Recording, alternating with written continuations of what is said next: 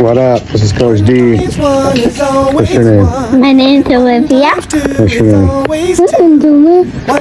We're about to show you guys how easy it is to do the ones. How old are you? Four. We're gonna do the ones, see if they know it. We're gonna listen to it first. Check it out.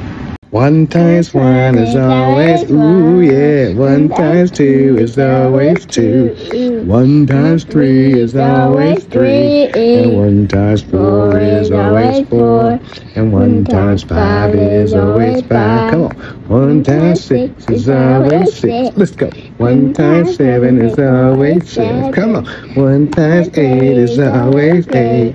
And one times nine is always nine. And one times ten is always ten. Mm-hmm. I love doing one times tables. Yeah. All right, let's see what you know. All right, this is Coach D. And Olivia. We're gonna see how much she learned from the ones times tables. Olivia, what's one times one? One. Wow. How about what's one times two? Two.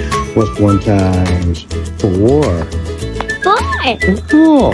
What's one times seven? Seven. How about what's one times nine? Nine. What about one times two? Two. How about what's one times ten? Ten. Well, when what's one times a hundred? Hey, what's one times eleven? Eleven. What's one times fifty-five? Fifty-five. What's one times sixty? What's one times thirteen? 13. What's one times 13? thirteen? Thirteen. I told you winning with times tables is pretty. Cool. Bye bye. Bye bye.